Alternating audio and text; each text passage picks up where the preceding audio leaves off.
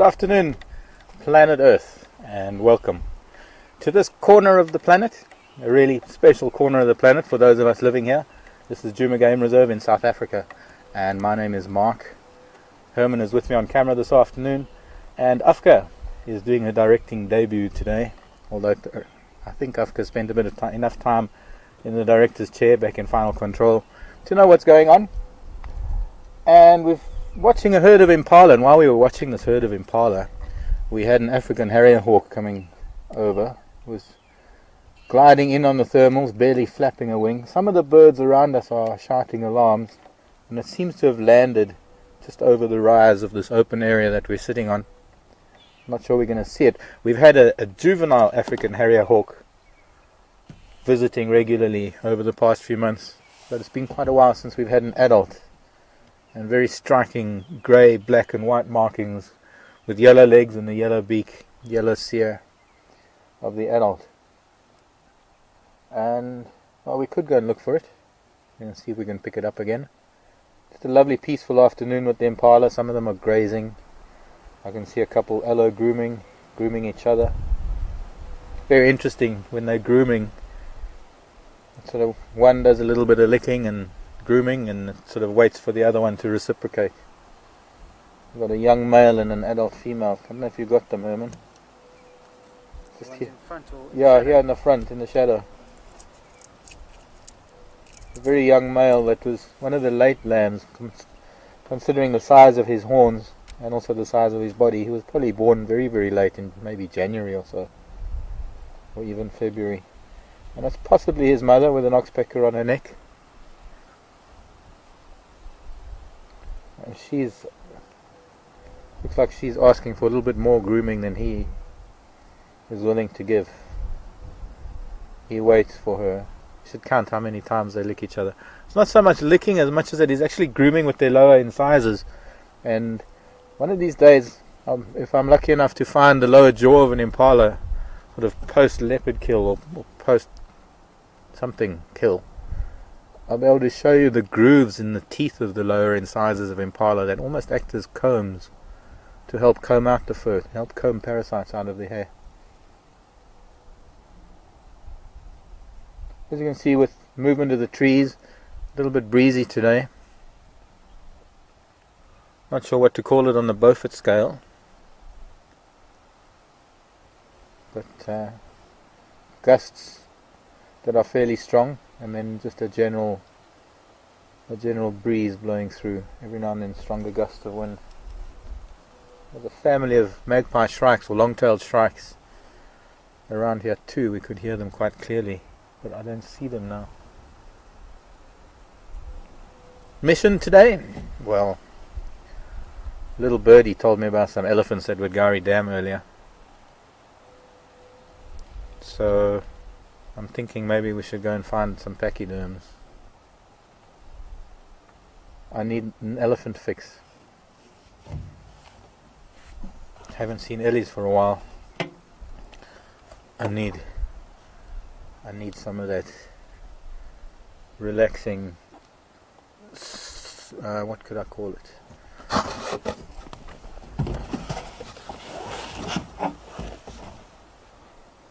grounding soul searching feeling that being with elephant brings shall we go And while we're driving, I encourage you to send in emails. You can send in questions, comments, and that will be to final control at safari.tv.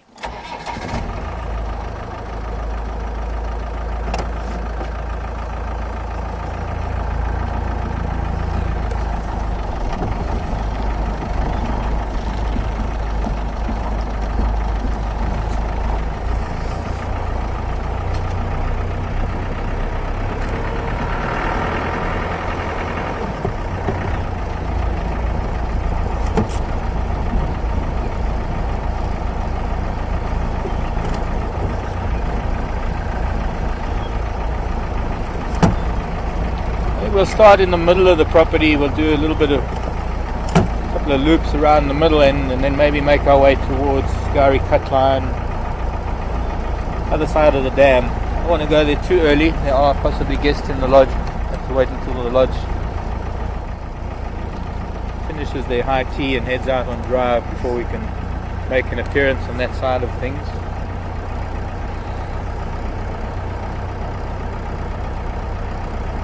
Interesting that the Styx were here last night. And even more interesting that they managed to link up with that little girl that was lost.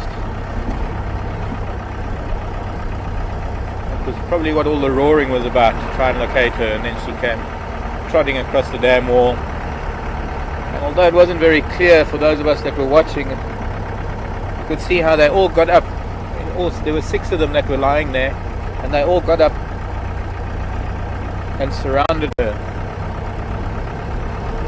And eventually, when they finally did make it to to waking up and heading on across the dam wall, and came directly in front of the camera or down to the camera, and I managed to just get that one moment of getting rather close up on that little girl, that little female. So, luckily she's back with the pride. I know what her outlook is, the prognosis is.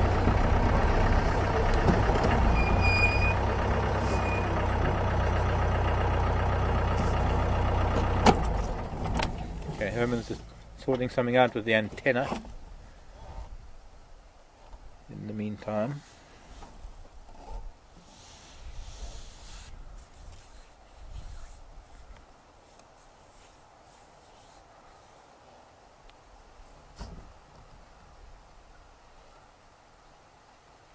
Just looking straight down the road, we're looking down towards Philemon's cut, Philemon's dip and Philemon's cut line. And I don't know when it was, when it was just suddenly wintry from when it was green. We've been seeing a gradual change, but for those of us that live here, the daily changes are somewhat subtle. And then all of a sudden now, for example, when I can see one of the main power line poles on Gari Main, which I haven't noticed before, ever, since I've been here. That's on the ridge, right in the distance.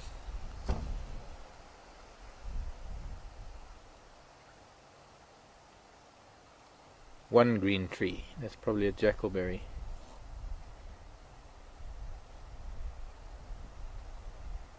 Jackalberries will hold on to their leaves for some time still. They lose leaves when the new ones are coming out, so it's a very short period of change. It's not like it's a whole season that jackalberries will be losing leaves and then getting new ones. Like all these combretums and the, the bush willows. Those are the trees that we see the most change out of at the moment because they're going through yellows and browns. The marulas, one day they've got leaves and the next day, or maybe not that quick, but it's almost that fast. But they don't really go yellow.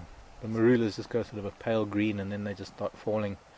And you turn around and look at a marula the next day and suddenly it's leafless. But the combretums, it's a slow process. All these bush willows are slowly turning yellows and browns. That's what I've got an orange shirt on for today. Bit of camouflage.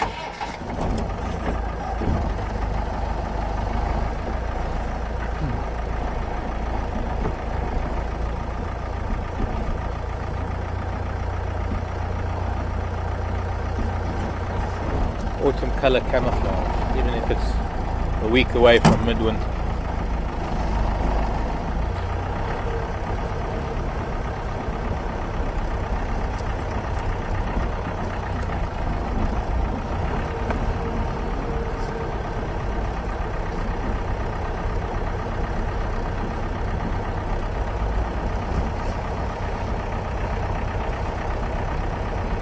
Ellie in Maine is a young lioness that's just been reunited with the Styx. Is she looking any healthier than she was a few weeks ago? No.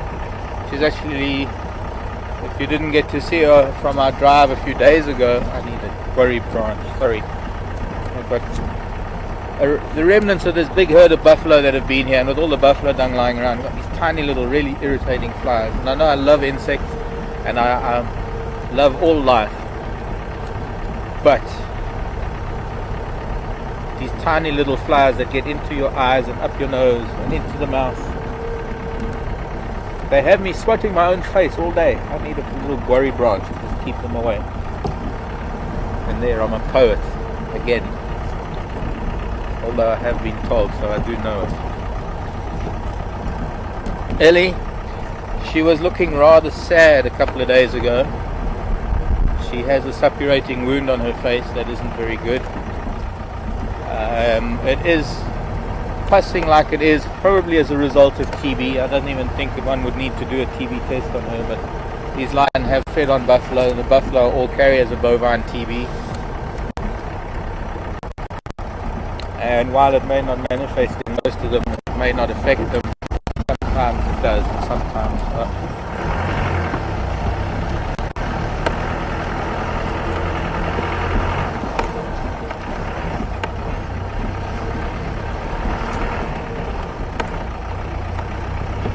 Well, sometimes it does affect them, and the condition doesn't help her. She's already got a depleted immune system, and, and she's already weakened by what appears to be sarcoptic mange.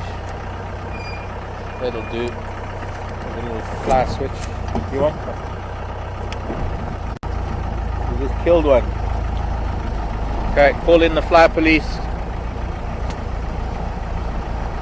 We have a dead fly on our hands. We need the crime squad. Worried. Yes, because I can be, pretend to be a Sangoma as well. I can't pretend that. The ancestors would get angry. The ancestors would get very angry. Um, just to let you know, the reason why I chose this particular branch as a bit of a fly swish is because the leaves are very, very hardy hard and leathery and they don't come off very easily so I can spend the rest of the three hours keeping flies off of my face without trouble.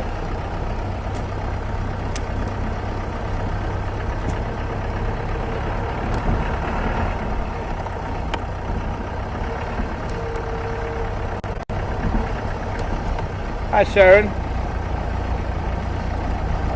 believe we have had this question just on Jared's drive the other day. Is there a way to tell the difference between hippo, male and female, the sexual dimorphism as we call it in nature?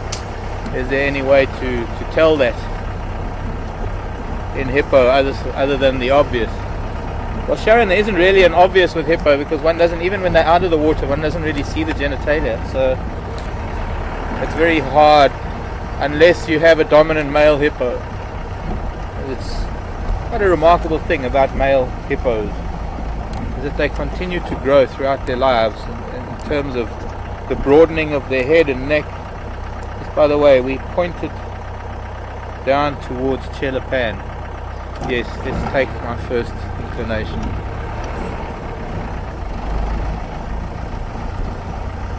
So when you have a pod of hippos, you'll find the hippo with the broadest head, broadest snout, obviously when they just doing a threat display and it's the male that's likely to be doing the threat display um, you will see bigger tusks on the bull than you will on the cows. Cows are normally sort of closer together the bull a little bit separate not normally but sometimes. It's actually very difficult.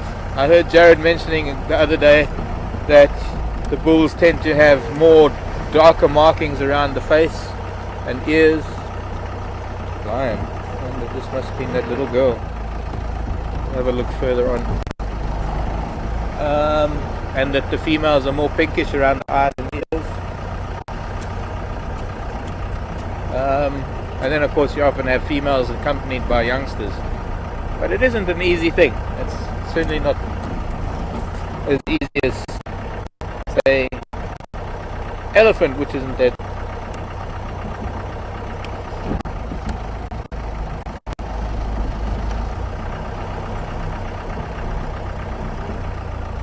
uh, not necessarily that easy.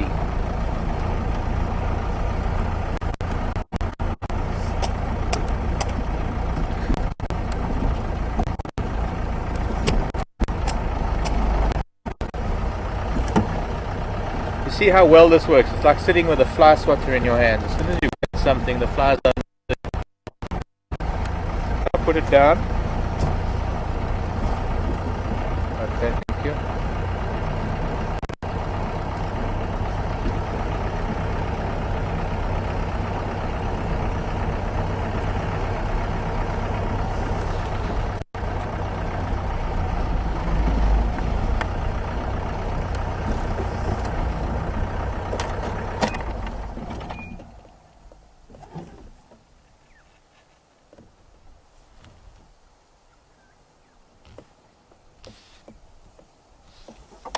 Thought I heard a squirrel alarming.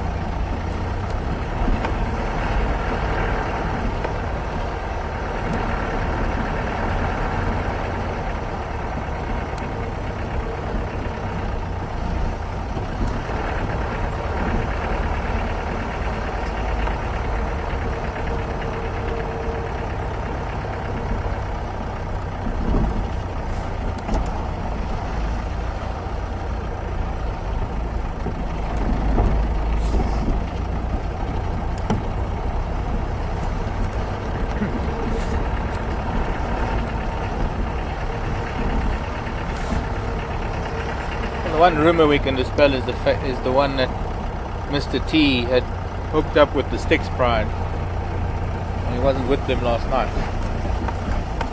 So whether he had and has left them, another matter. It was only the young male last night.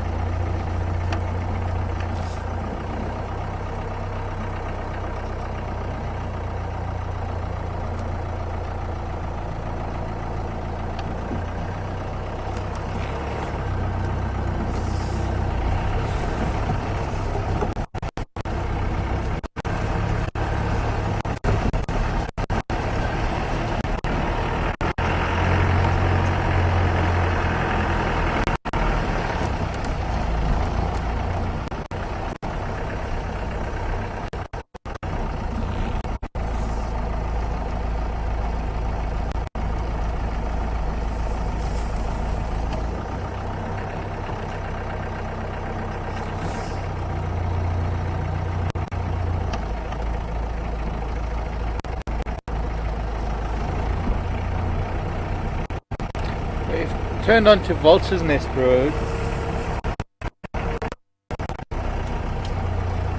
Heading towards Central. Think more or less north now. Central Road. Number of hyena tracks in the road that I have from last night. There was one little print of a leopard further back. Obviously not as fresh as fresh enough to follow.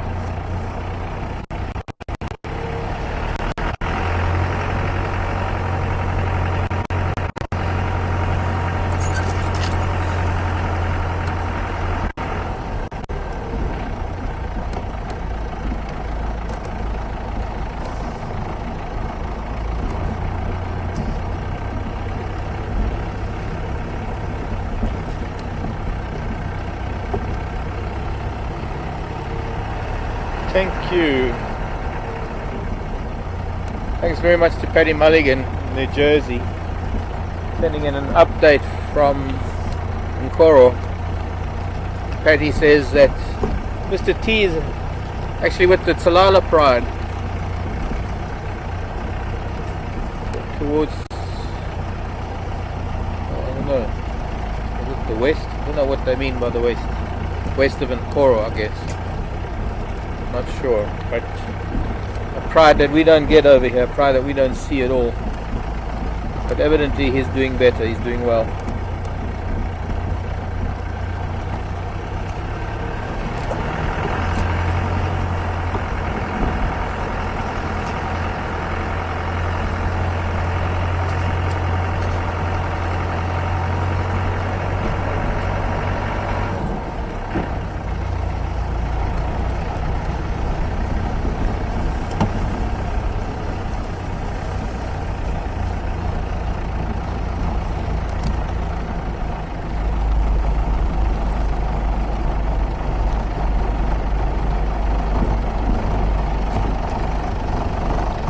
Clifford. Good afternoon, Clifford. Clifford wants to know if I know how many lions are left in the Kruger. Actually, I don't, Clifford. I know Paddy. No, sorry. Um, Penny. Penny Leg in Durban sent me an update a while ago. I'm sorry, but that kind of figure just slipped my mind right now.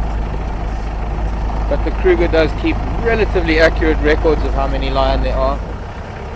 Don't know, it's probably about 200 I think if that lion population has been hammered through various diseases.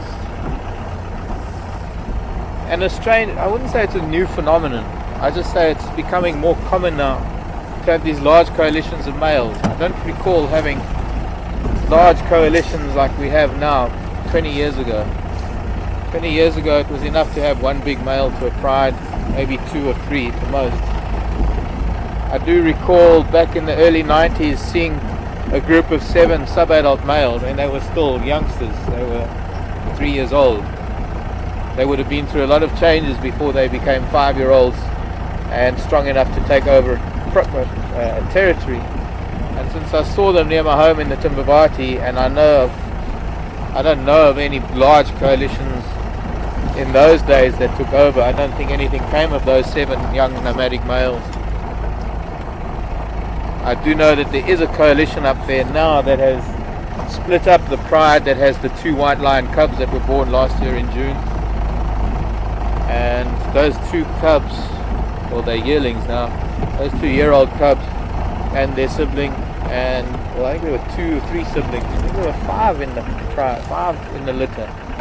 Three normal coloured and two two white. Um, Last I heard, and that was a few months ago, that they were down near King's Camp. And King's Camp is managed by the same people that manage Vuyatela and Djuma Bush Lodge, seasons in Africa. And there's a bit of communication between King's Camp and the people at Vuyatela and my good friend Duncan.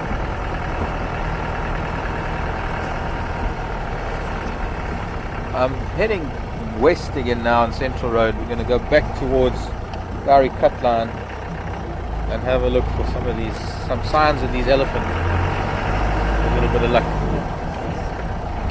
Holding thumbs, crossing fingers, knock on wood, touch wood. Two doves in the road somewhere, I'm sure. Let's see if we can find some ellies this afternoon. I smell them. I smell them already.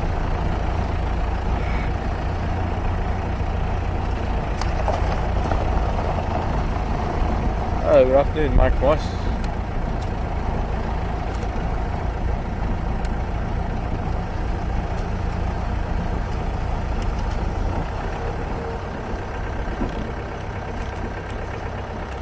Okay. Got more than I thought. Thanks, Mike. According to Penny, in 2009 there were 1,600 Lion in Kruger. Okay, a lot more than I thought. I don't know why I thought of a number 200 or so. 200 maybe here in the Sabi Sand.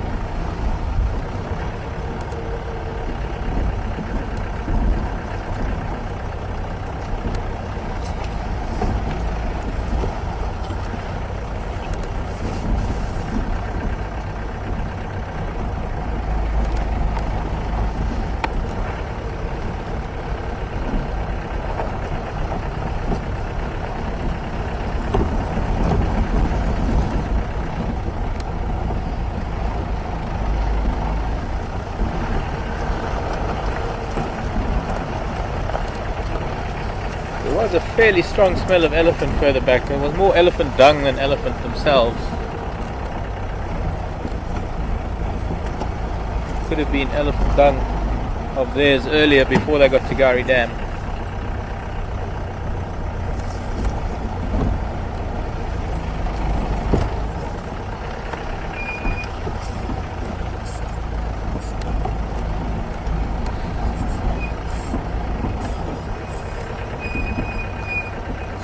Trek on the road. Lovely warm day today, so there are snakes about, despite being winter. Jared and Kat found a lovely skin this morning. A vine snake.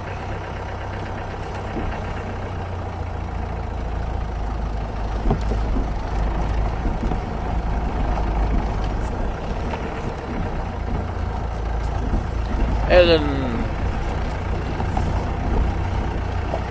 get out of this dip.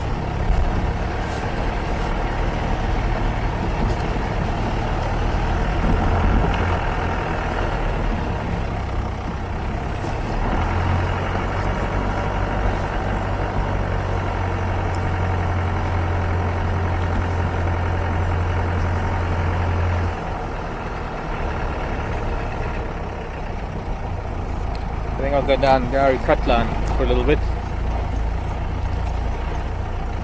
Ellen in Illinois. Wanting to know if we ever see tigers. Not likely, Ellen. Tigers do not occur in Africa. Tigers have been brought to Africa. There is currently a tiger breeding project on a very, very remote farm about 500 miles away.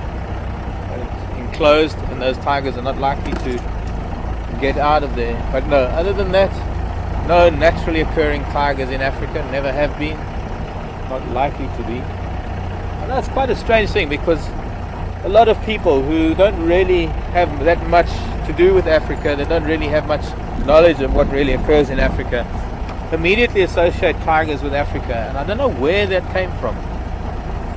Because, well, yeah, no tigers in Africa. Tigers are from India and going east into Asia and up into Russia.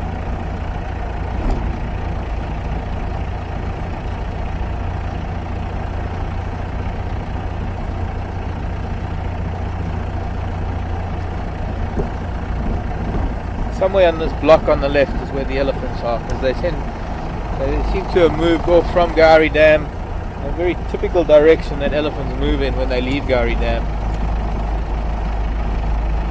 I think we'll make a big loop. We're going to lose a little bit of signal towards the end of Gari Cutline going up to up Buffels of Katlan to Mvubu Road. Hopefully we won't be gone for too long.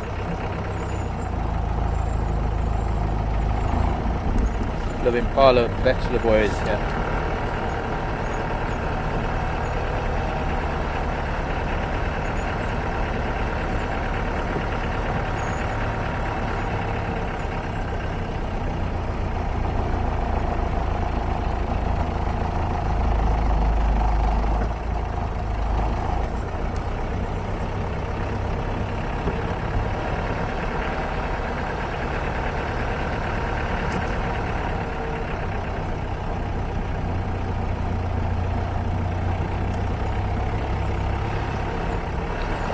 Long question. Long question coming in from Clifford. Sometimes I'm going to have time to answer it by the time we get to a breakup, but I can try. Clifford is ex-South African living in Norway. That's quite a culture difference, there. Not to mention time and season.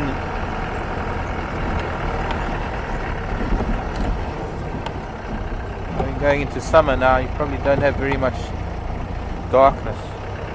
So I wonder where these lion tracks came from. Or rather who, not so much what or where. The lion tracks here. Could be the Styx coming into Gowrie Dam last night. Tracks up and down. Hmm?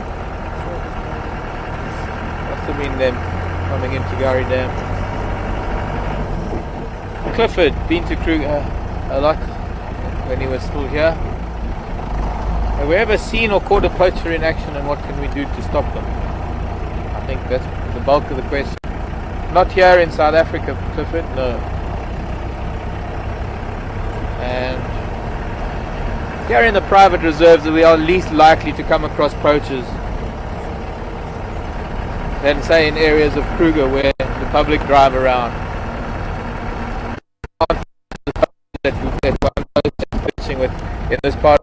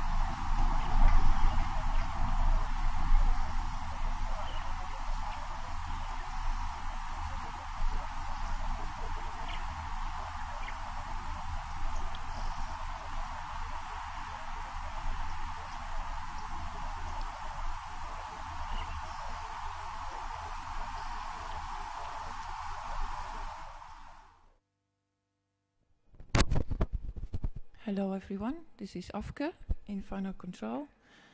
As you can see we're going to uh, an area with a bad signal. Um, we will be back as soon as um, things pick up again. For now we can see Gowrie Dam with in the left top corner um, the drive.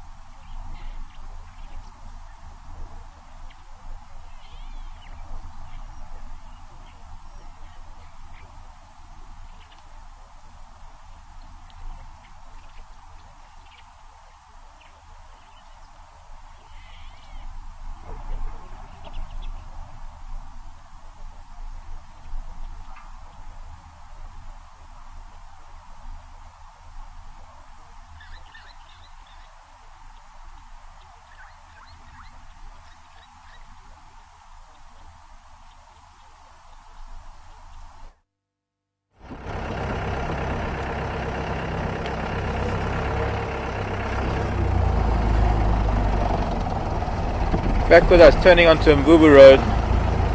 Haven't found any tracks on Buffalo's or cut line. So I'm guessing these elephants are still in the block east of Gowrie Dam and that's going to make things a little difficult.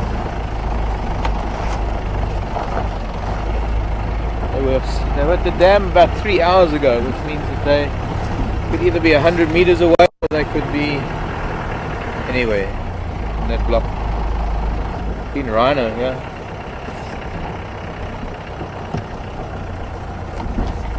And buffalo. Um, still busy with Clifford's question. And that was about poachers and have we ever come across them and what to do when we do.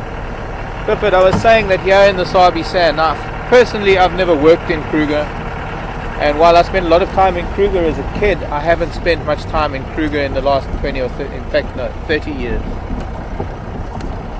So I can't speak of Kruger. Now, it, it's sometimes confusing for people when we separate discussions between Kruger or discussions of Kruger and Sabi Sand.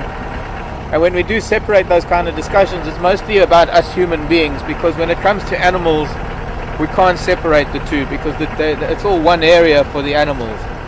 The Kruger is a national park. It's a, it's a government national park open to the public. This is a private reserve only open to private landowners and the guests that are booked into the lodges. This is not a park that people can come to and just drive around and see the animals unless you're booked in at one of the game lodges and then you go out with one of the guides. And it's the very fact that there are a lot of lodges and there is a huge network of roads in here in the Sabi Sand that preclude this area from being used by poachers because of this network of roads. Poachers are going to see the, they, well, it's not only they're going to see, they know. Before they even come here, they know that this is not an area that they can come to because they can be found so easily. Um, and not to say that there haven't been odd people that have come through the Sabi Sand and sort of petty theft uh, um, incidents have occurred in the lodges. One finds at full moon people will come in from the outside, not often, once in a blue moon maybe. Been incidents of people coming in over a full moon. We had uh, Conrad, who does the anti-poaching and security for the Sabi Sand, came by today and said he found tracks, and even though it's not a full moon, it's actually a new moon there were tracks today leading in towards Vuyatela of some strangers. But they wouldn't be poachers because poachers need time and secrecy. And with the network of roads that we have, a poacher will see that the roads are used frequently by the amount of vehicle tracks that they find on these roads. So they're not going to even attempt to do anything. And as that very fact that means that we don't really bump into poachers at all. In all my years of, of guiding here in South Africa, and running camps, I have yet to bump into poachers in the private reserves. We've had in the 1980s and early 90s, we used to have a lot of Mozambique refugees that came through, and we actually we had this little corridor that we helped them get through to the area on the western side of Kruger called Gazankulu, where there were people that would shelter them, and of course, when the government found them, they would send them back to Mozambique.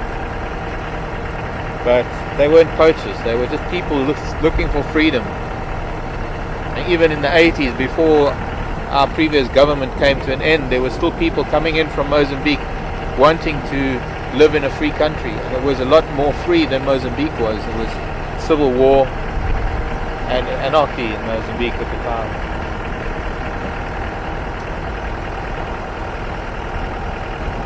But I can't say that we've had any incidents of poaching. Oh, we found snares. I have on walks found bits of wire, snares. Uh, in my history of wildlife, of being with wildlife, I've had occasion to actually be involved in darting animals, bringing in the state veterinarian and darting animals to remove snares and to assist those animals in recovery because of snares and the kind of poaching that goes on around the edges of the reserve for meat, and for subsistence poaching, kind of what we call subsistence poaching, hungry people trying to feed a family. But the serious poaching, poaching for financial gain, poaching for elephant tusk and rhino horn, that is the serious type of poaching that we won't, we don't get here. And as sad as it is that it is on an increase in Kruger, there's not much that we can do about it from this part of the world. As far as what we would do with a poacher is concerned, if we could, we would do a citizen's arrest and we'd bring in the authorities to take over if it came to that. There wouldn't be much else that we can do. Um, some of them are armed. Most of them are armed in Kruger. They're shooting rhino. And while I'm brave with wildlife, I'm I can I'll walk with lion, I'll stand down an elephant. I can't say that I fear anything in this environment because I'm, my passion for it runs too deep and my knowledge for it is relatively good. I am deathly afraid of human beings with weapons.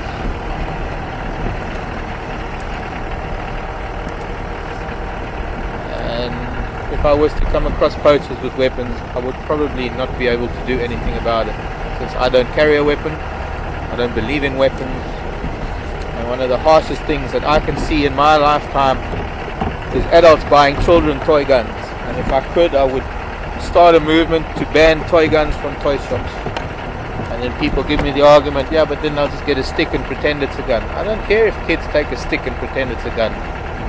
Just the concept of having these really realistic looking guns in toy shops that breed this gun culture that we have in the world today. Anyway, that's a huge, wholly different story. We're coming up to the area now, change the subject, thankfully, where those elephant may have crossed this road after this dip. Looking forward to that.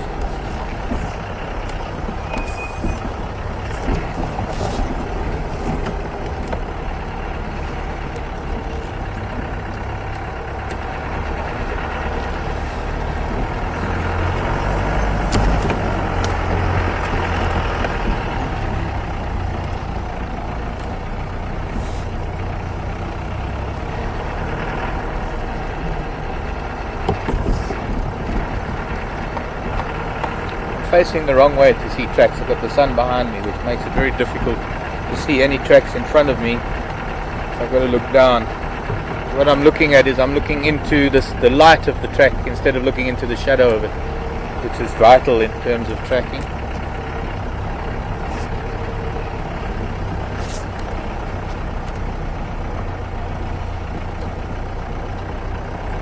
But somewhere here will be some elephant tracks.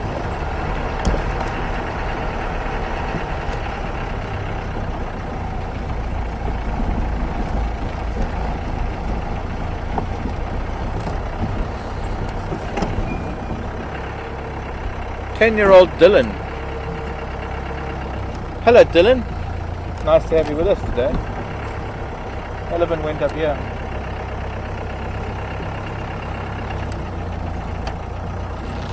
Looks like they came up here, some of them. Headed straight in here. Dylan, how tall do elephants get? How tall is an elephant?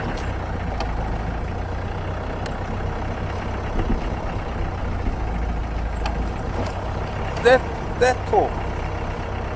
Uh, probably about 11, 10, 11 feet at the shoulder for a big male. I'd say maybe 12 feet for a very big one. I'm gonna just drive up here a little bit to see if they, they might still be close by. I doubt it, but if it's, I've got a fairly open path to get into this bush. We'll go and have a look and then I can maybe stand on a termite mound and listen. Otherwise, the alternative is to go to another part of the reserve and look for something else and come back a little later. Just in case they have moved closer to a road, like Buckles a cut line or something.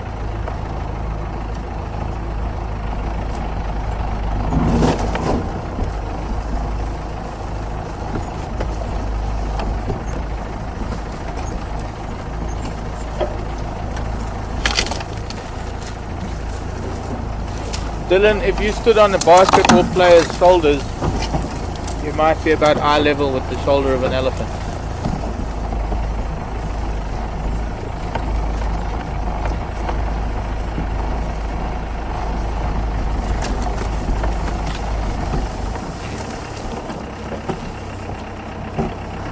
Pop it into low range. Make it a little slower. And weave our way through the trees.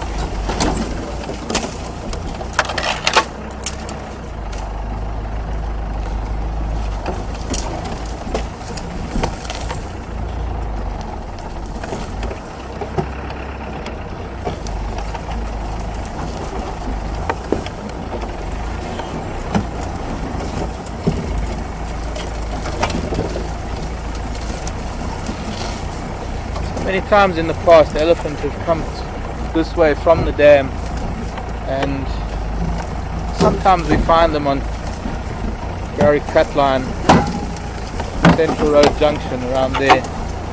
Sometimes we just never find them. And I think today I'm just taking a chance.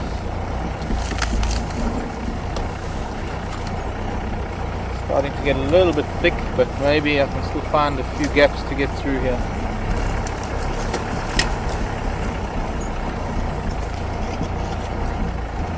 to this termite mound perhaps. I can climb the top of this termite mound. Let's see if I can see an ear whoop, an ear flapping in the distance somewhere. Or hear a branch break.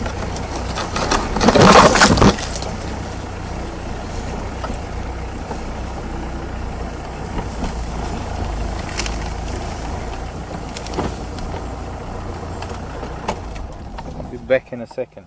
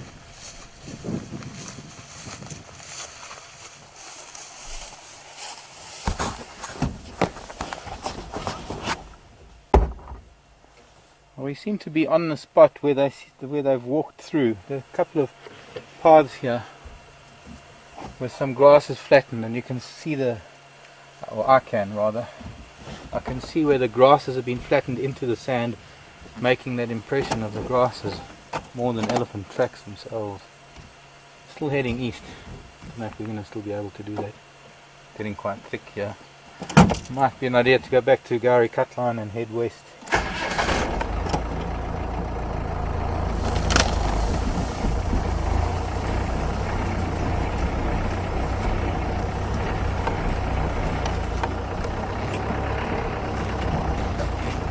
Couldn't hear a thing other than the odd go away bird.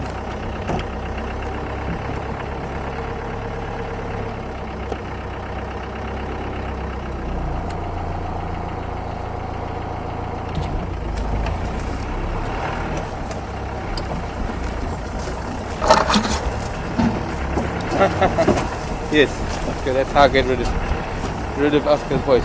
Take my earpiece out. No, it takes me time sometimes to put it back in.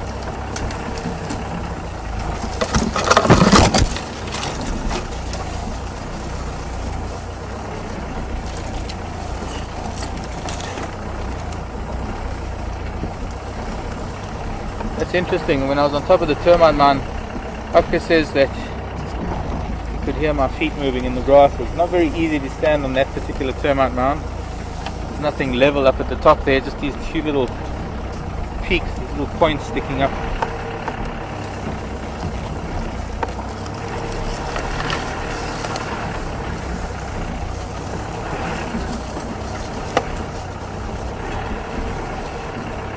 Okay.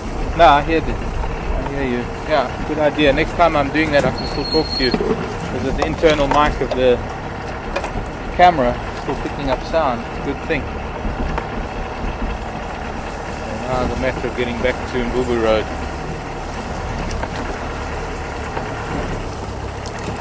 Sticking to these little open patches of grass.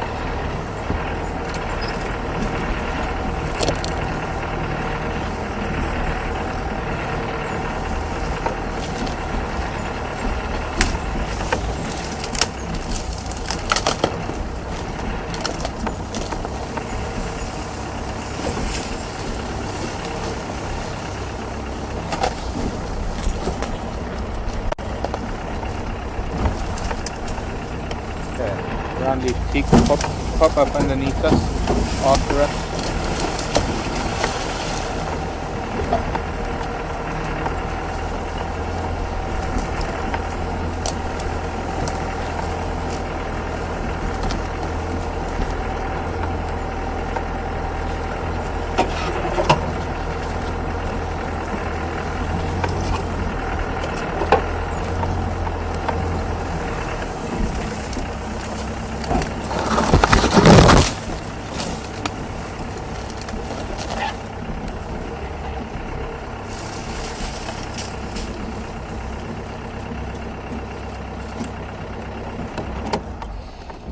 Can't remember. I think it's called a goat moth. Goat beard moth. Something. Maybe you can see this.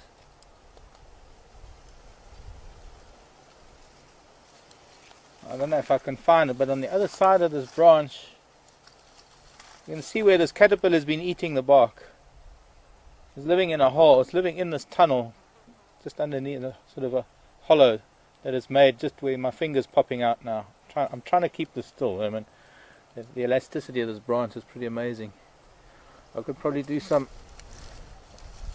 exercises with it. But as this caterpillar eats and it defecates, it uses this, its little pellets and it sews them together to form a tube that runs that runs down to where it's hiding probably, unless it's somewhere here at the end. I can almost see through it, but I'm not seeing the caterpillar on this end. But you can see how oh, there it's lifted now. Not serious. You sometimes get aggregations of these caterpillars. They don't have a very pretty moth when they get in when they turn into a moth. Don't think I've got my book here. But I must have a look at Dave Hill's butterfly book. It'll give us maybe an, a good example if there are moths in there. But there's something that one doesn't really notice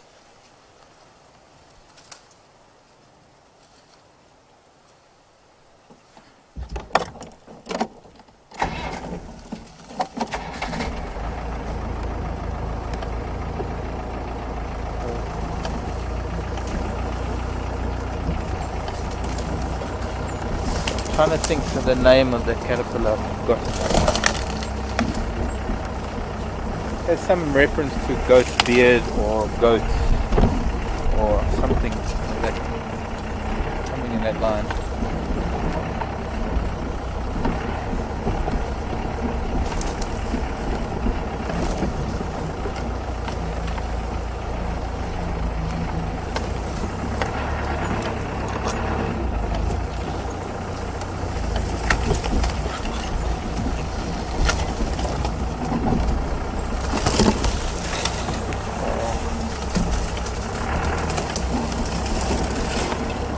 Don't think so. Too much wood.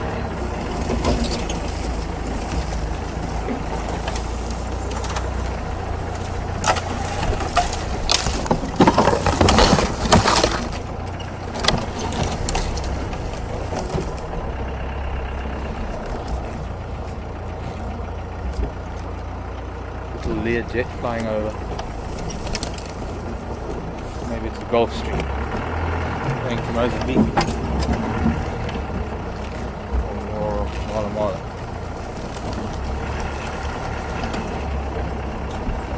Skukuza. And if that airport in Skukuza is still operational.